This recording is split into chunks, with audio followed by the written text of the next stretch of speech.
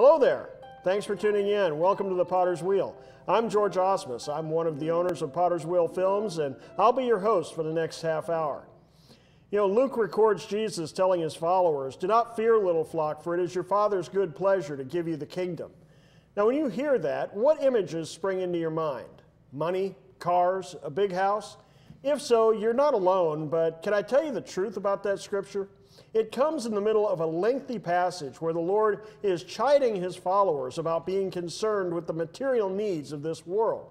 What is the kingdom that the Father delights in giving us? Well, Paul tells us that the kingdom of God is not eating and drinking, but righteousness, peace, and joy in the Holy Spirit.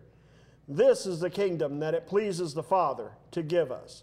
Now, does that mean that God doesn't want us to prosper financially or materially? Of course not. But it does mean that material blessings are not quite the priority that the prosperity gospel preachers would have us believe. If the acquisition of wealth and the accumulation of material goods and the consuming of the blessings of God upon our flesh are not the priority we thought they were, well, what is? Peter asks the question this way Therefore, since all these things will be dissolved, what manner of persons ought you to be in holy conduct and godliness? And uh, my special guest, Pastor Gary Wallace of River of Life Family Church, and I will explore the answer to that question on today's episode of The Potter's Wheel. The prophets Isaiah and Jeremiah compared the people of God to clay and spoke of the Lord as a master potter. On its own, clay has no form, no purpose, but in the hands of the master, it can be shaped into a design of his choosing to serve his purpose. He has a number of tools to help him in his work. Chief among them is the potter's wheel.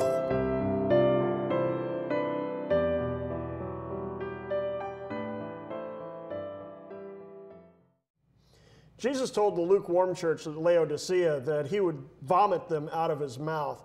Now, his judgment had to have come as a major surprise to them because their measure of themselves was that they were rich and wealthy and had no need of anything. But he went on to say that they had no idea that they were naked, poor, wretched, miserable, and blind. See, church, it's not what we think of ourselves that matters, it's what he thinks of us that makes the difference. To explore this topic today, I have a special guest with me in studio, Pastor Gary Wallace from River of Life Family Church. Pastor, thanks for being yeah. on the show. Good to be here. Uh, yeah. We've, we've, walked a country mile or two together. Yeah, congratulations doing, on your show. Thank you. Thank you very much. I was uh, doing the math here as we are getting ready for the show.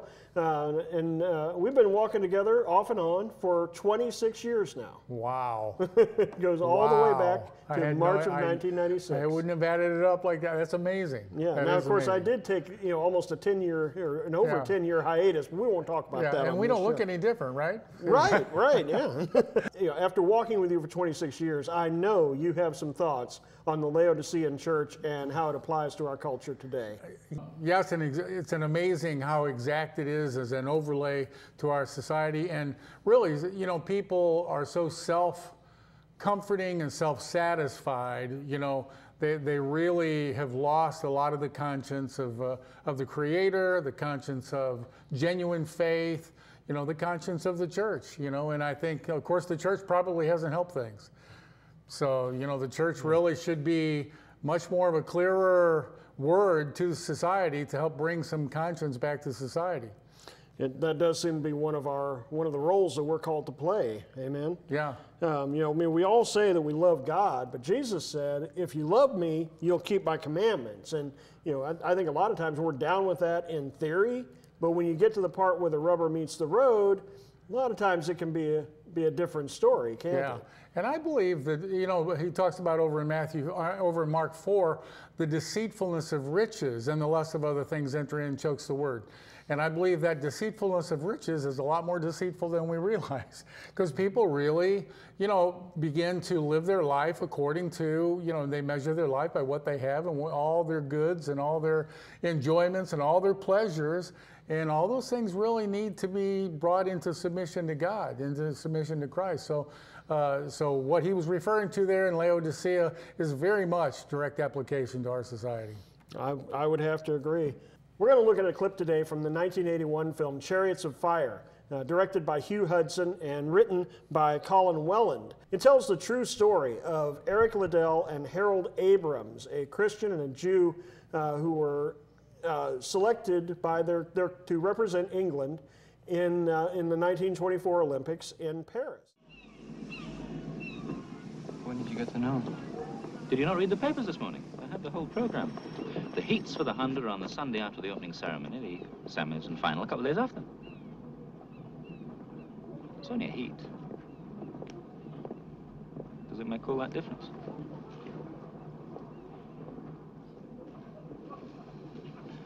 Yeah. Yeah, it does.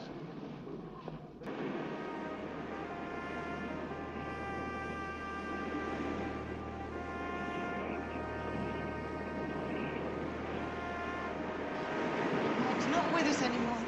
He's full of sprinting and starting and medals and pace. Head so full of running, you've no room for standing still. Jenny, Jenny, don't fret yourself.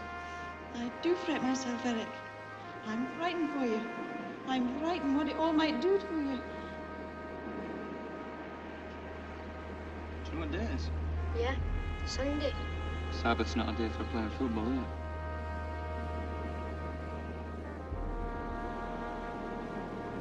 It's an awful step you're taking, Liddell. The whole of Britain will be watching you. I don't know that they'll understand. I'm not sure that I understand. I'm not sure that I do either, sir. For the last three years, I've devoted myself to my running, just to be on this ship. I gave up my rugby. My work has suffered. And I've deeply hurt someone I hold very dear. Because I told myself, if I win, I win for God. And now I find myself sitting here, destroying it all. But I have to. To run would be against God's law. I was mistaken.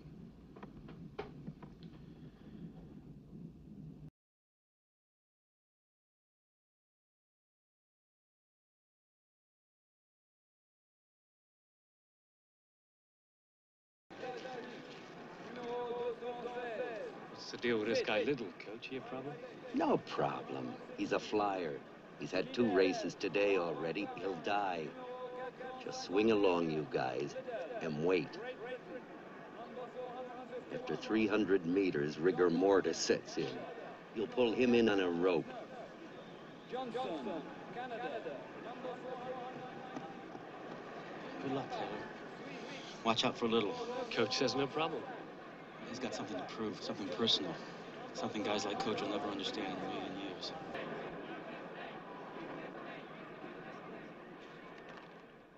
Says in the old book, He that honors me, I will honor. Good luck, Jackson Scholz.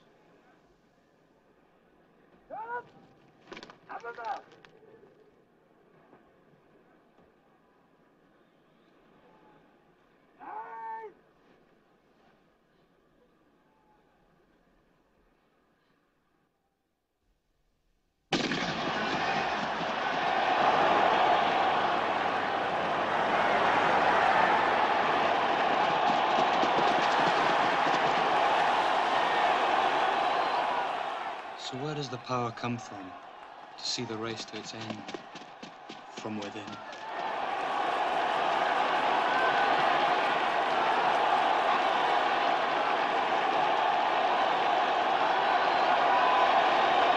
Come on, Liddell!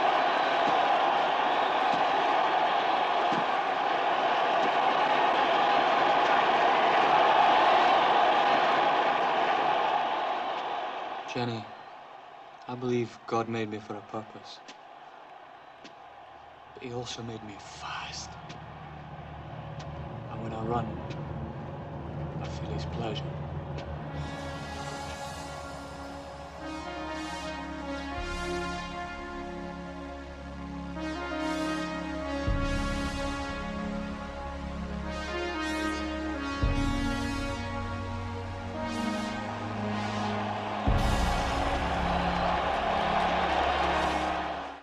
Pastor Gary, why don't you uh, tell tell the folks about uh, Eric Liddell's choice Well, that, he had, um, that he had to make that would run counter to Well, surprisingly enough, I was around to see the original movie.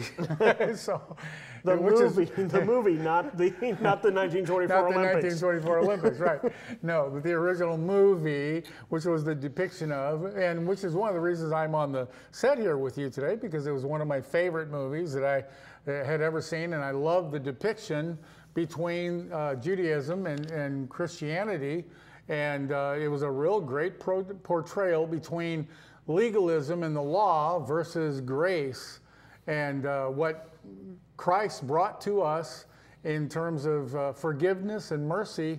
And so it's really an overall message that really calls people to really enter a relationship with God versus trying to earn their place in a religious way to earn their uh, their stance before God. So they, they won all the awards or many of the awards. I think it was nominated for like seven uh, seven, seven Emmys. It won four and uh, it was and it won Best Picture. It, I, I beat it beat uh, uh, the Raiders. Lo- Raiders, of the Lost of the Ark. Lost Sorry Ark. about that. Mhm. Yeah, Yeah, Raiders of the Lost Ark, and uh, so it was a you know pretty. And, and then the music. Uh, you know, theme was went went on forever, so that was wonderful. I, but, I uh, recall that that song was played everywhere. well, what, what's interesting is that uh, he really had strong convictions. He was uh, he came off of the mission field to be able to run. He he and his family had been missionaries to China, and uh, and he just loved to run, and so that's how he ended up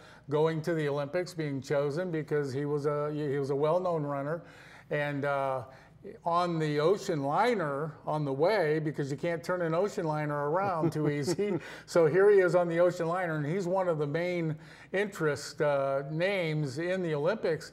You know, they had scheduled him to run on the Sabbath, which would have been a Sunday to him, and he really uh, was not going to do that. And uh, they really thought that was kind of like a joke. They really were highly offended at that. And this is the Olympic Committee, and you know they kind of pulled him into the cigar smoked room, and you know kind of kind of ran him over the coals a little bit uh, in a nice way, so to speak, but basically really kind of threatened him, and he he stood his ground, and he said. Uh, he was here to glorify God, and through the whole movie, he really lifted up the Lord, uh, mentioned Scripture, mentioned Jesus. In between races, he would he would share the Lord with the crowds and so forth. So within his overall uh, profile of racing, it was all about the Lord. It was all about God, and so also it was going into the Olympics. You'd think the pressure, you can imagine the pressure of the whole world watching you. And uh, he stood his ground and said, you know, uh, something's going to have to change because I'm not racing on the Sabbath. And they were, they were pretty upset. And uh, eventually, they came around. Well, he was kind of playing with a different set of rules than we are today, wasn't he? I mean, how many of us would give up the chance at Olympic gold just because they want me to run on Sunday? Yeah. I mean, yeah. you know, we can see kind of the commitment and the uh, commitment Yeah. level at the American church. I mean, you know, we we give ourselves permission to, to cut church and, and you know break the Sabbath Yeah. all all the time. You know, one one kind of wonders. You know, I mean, I looked at that and I, you know, I'm like, would I do that? Yeah. Would I have the strength of character to give up something that I held dear, some dream that I had had for my entire life, up you know up to that point, um, over something as nebulous as the idea of, you know, is this it, does this even qualify as breaking the Sabbath? Yeah. But he felt that to run would be to dishonor God, the one who gave him the gift to run in the first place. Yeah. And you know, Yeah. you know, where is that in the American church Well, today? well, and really, in leading up to this moment, before he even got into the Olympics, coming off the mission field, him and his family were already off the mission field in Ireland, and he, when he was chosen and was going to go into the Olympics, he, he really went through a lot of struggle with his family. His family had a hard time with him doing something so selfishly ambitious as going into the Olympics. They were kind of appalled at him doing this. And so he had to overcome even his family's resistance like, why would you want to do this? Because we're serving the Lord, we're not serving ourselves. And he had to go through and explain to them, you know, when I run, I feel the pleasure of the Lord. I mean, when I run, I feel God. God has chosen me to glorify Him on the mission field, but He's also chosen to, to, for me to glorify Him in the racing.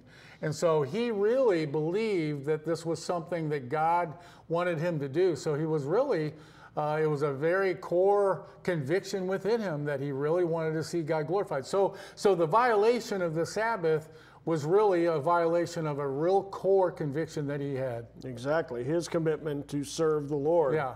Uh, and, and not himself. Yeah, um, and that was pushed to the hilt in an extremely public way. Yes, you're right. Worldwide. Yes. I mean, I mean, his his stand made worldwide headlines at the time. The Yes. I mean, can you imagine, church? The entire, uh, not just the entire country, the entire world, every language, every tribe, every nation, every tongue, is watching you take a stand for God, and watching to see whether or not you're going to wilt and fall. Yeah. I mean, that that just that makes me want to go find a hole to hide in. Well, it's a, it's a little bit like what you know Satan offered Jesus. He said, "I will I will give you all of these kingdoms if you'll bow down and worship me." And I mean, he really, literally, I mean, he could have he was he was going to give up all of this glory of being able to race before the world, even though they didn't have the technology and all the exposure that we have today. But still, it was a great exposure, and he was willing to lay all that down to not violate his convictions. Yeah, which is, is still pretty impressive. Absolutely. um, you know, as far as I'm concerned. I mean, you know, and he, you mentioned um, him having to justify uh, the going to the Olympics before his family, uh, who considered it, I don't know, apparently too secular an activity for Absolutely, yep, for you know for for a man of God. Um, but you know, I think of all the athletes and and people in the world of sports today who. Uh, Who take a stand for Christ publicly? Um, Tony Dungy just popped into my head. Uh, I know he's a, a you know a former football coach Yes. um, and you know well-known Christian. I mean, you know, staunch as far as as far as I've been able to determine. Um, and you know, I think that you know now we accept the fact that God uses people in that position. He gives them that that uh, that ability and that Yeah. stardom in a, in athletics as a platform to you know give them a door into which you know through which Yeah. they can they can preach the gospel. And it, it kind of sounds like in 1924 that really wasn't uh, probably wasn't the case so much back then. Yeah. Um, you know because because he did have that that struggle with his family. Um, but you know today, you know, I mean, look at all the, you know, look at Tony, you know, the Tony Dungies of the world, Right. And, uh, And there was you know, another one recently I just saw with uh, Jonathan Isaac, who with the uh, or I think it's Orlando Magic. He he was the only one that stood, uh, and they all kneeled during one of the games. And he's written a book saying "Why I Stand," and he just gives such a clear conviction and testimony, not not in a bad way or any good spirit, and really has maintained good relations with all of his his team members, even those who disagree with him. He says, we just agree to disagree, but you know, he's really taken his stand in a majorly public way.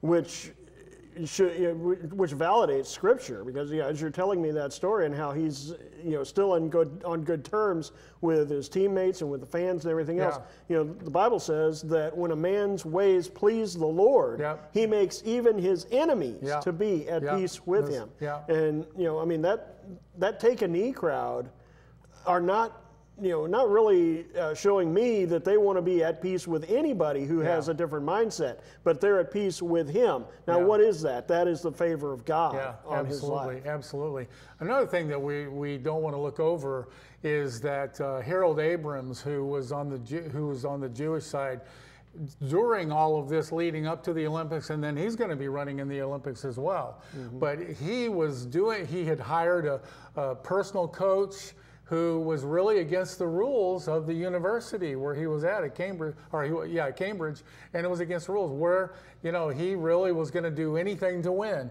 and he had already been beaten by Eric Liddell. He had already been beaten by him and was devastated to the point that he almost lost his future wife or was a wife to be because he just couldn't handle being beat like that. And so it was contrasting uh, man's effort versus God's, you know, versus doing it God's way.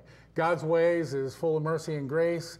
Man's ways is full of law and, and works and hard work and and you know we cannot earn our way to God. We cannot earn our way to righteousness. We cannot, you know, we cannot fix ourselves. You know, it's only through the grace and mercy of the Lord Jesus Christ that we can have a relationship with God. So all of that was borne out within going to the Olympics. Wow.